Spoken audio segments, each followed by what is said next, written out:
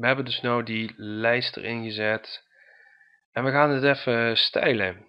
Want uh, dit, even kijken, hebben we het al opgeslagen. Dit is nog lang niet wat het zou moeten zijn.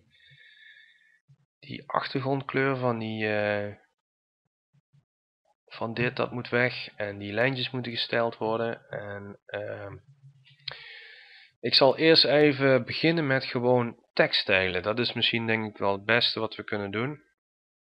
En als we tekst hebben gesteld, dan uh, gaan we achtergrondplaatjes erin zetten in onze site. Dus dat is niet zoals we hier al hebben gedaan.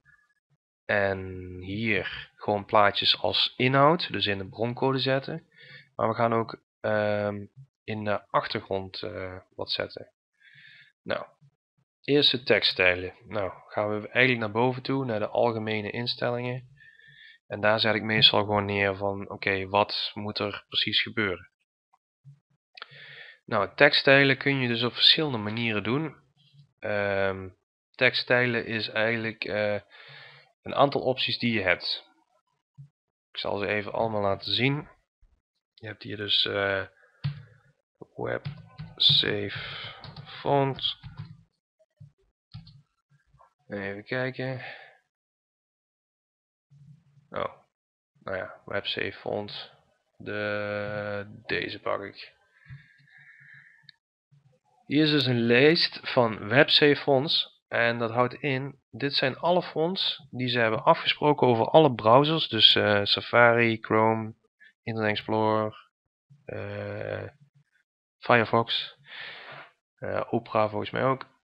Die er allemaal in zitten. Je ziet ook wel van, oké, er zitten soms kleine nuances in. Maar in de meeste gevallen is het allemaal hetzelfde over alle platformen heen.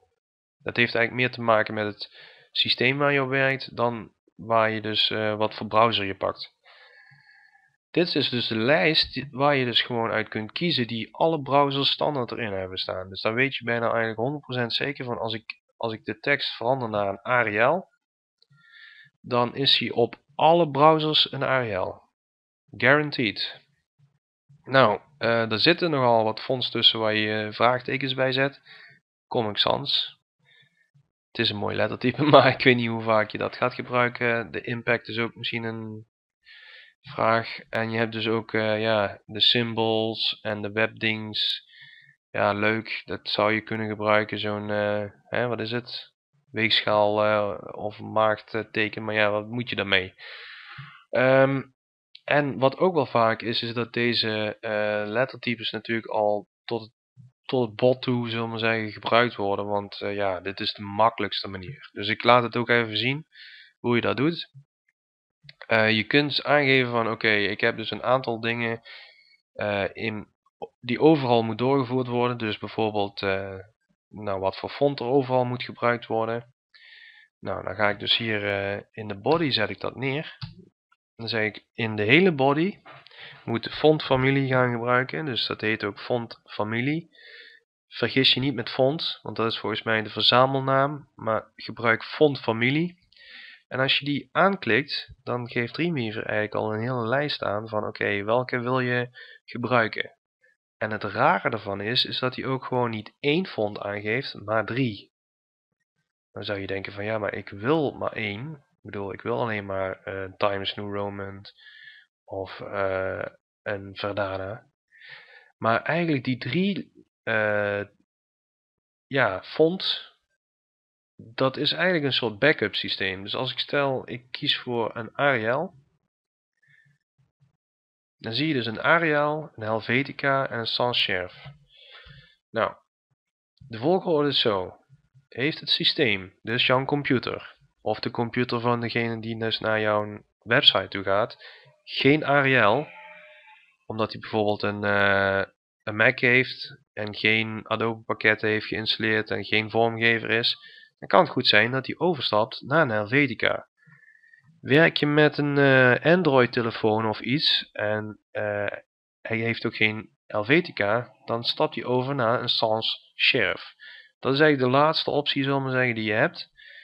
Dat is dus een sans serif is een schreefloze letter.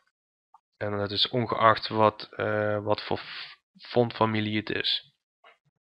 Dus dit is eigenlijk de last resort die die pakt, maar in eerste instantie gaat hij elke keer proberen om die Arial te tonen. Nou, als ik dit nou gewoon opsla in die stylesheet, en ik ga nu kijken in mijn site, dan zie je dus ook dat nu ineens alles in die hele body, dus echt van boven tot aan beneden, alle tekst is omgezet naar een Arial. Nou, dit lijkt me nogal een vrij makkelijke optie. Nou, een Arial is nog niet zo verkeerde optie.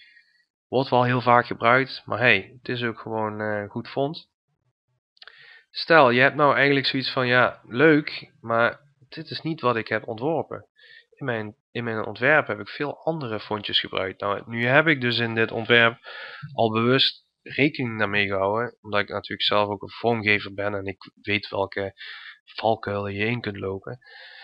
Uh, heb je dus optie nummer 2, en daar heb ik dus ook de font van gebruikt. Uh, dus de Roboto Condensed.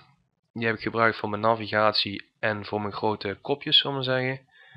Uh, en voor de normale bodytext heb ik dus een uh, Droid Sans gebruikt.